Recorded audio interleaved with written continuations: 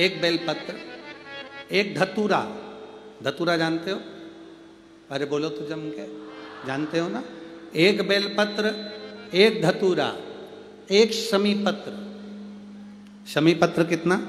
एक। एक बेलपत्र, एक धतूरा, एक शमी पत्र और एक सफ़ेद पुष्प। केवल एक सफ़ेद पुष्प। एक आखा चावल का दाना। आखा का मतलब जानते हो? मतलब पूरा सेगा चावल का दाना। एक। एक चावल का दाना एक सफ़ेद पुष्प एक धतूरा एक बेलपत्र ये सब हाथ में लेकर अगर तुमको ऐसा लगता है कि आपको ऐसा महसूस होता है कि ए, मेरी सारी राहें बंद पड़ी हुई है और मैं जिस काम में हाथ डालता हूँ, वो काम आज होता ही नहीं। दिन लग जाते हैं। जब दुनिया के लोगों के पास में सुख आ जाता है, तब भगवान मुझे सुख देता है। जब दुनिया का भला हो जाता है, तब मेरा भला होता है।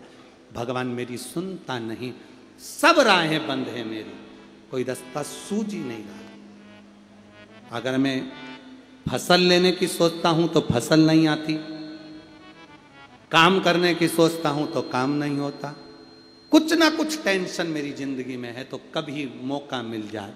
जिस दिन तुम्हारे हाथ में ये सभी चीज़ें हों, बेलपत्र, धतूरा, पुष्प शमी पत्र चावल का एक दाना, ये सब तुम्हारे हाथ में हो और शिवरात्रि का दिन हो।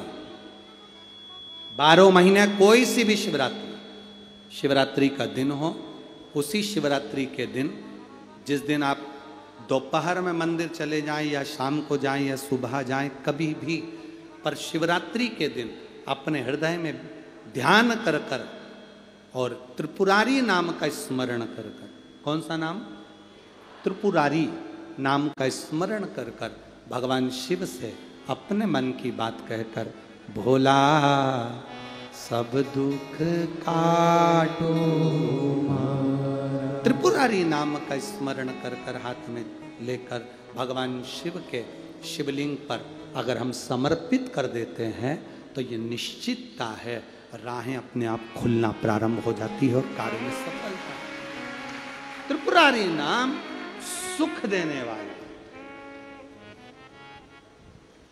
तीन पुरियों को भस्म करा। तीन पुरियों को भस्म करना मतलब हमारे सामने जो विघ्न आ रहा है, हमारे सामने जो कहीं ना कहीं तकलीफ़ आती उस उस विघ्न को समाप्त कर दे वो त्रिपुरारी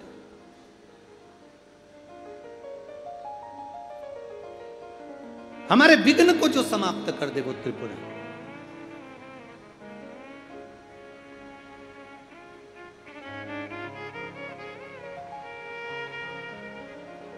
भगवान शिव की भक्ति के बल का आनंद। तारकासुर के बेटे, तारकाक्ष विदुमाली कमलाक्ष की तीनों की पुरियों को भस्म कर दिया भगवान देव देवादिदेव महादेव ने। तीनों की पुरी और तीनों की पुरियाँ जब भस्म हो गई, शंकर भगवान ने देवताओं को पशु बनाया। शंकर भगवान उनके पति बनकर युद्ध करने के लिए चले। तीनों भागे। एक जगह एकत्रित हुए। एकत्रित होकर उन्होंने आक्रमण किया भगवान शंकर के ऊपर।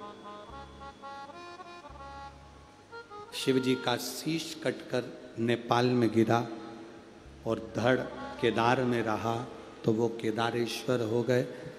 शीश नेपाल में गिरा तो पशुपति नाथ हो गए, डोलेश्वर महादेव हो गए। पशुपति तारकासुर के तीन बेटों का संहार देवादिदेव महादेव ने करा। पशुपति व्रत का फल शिव महापुराण वर्णन कर रही है। एक होता है पाशुपत्य अस्त्र, एक होता है पशुपति व्रत। एक पशुपत्य अस्त्र होता है, पशुपति व्रत होता है। पशु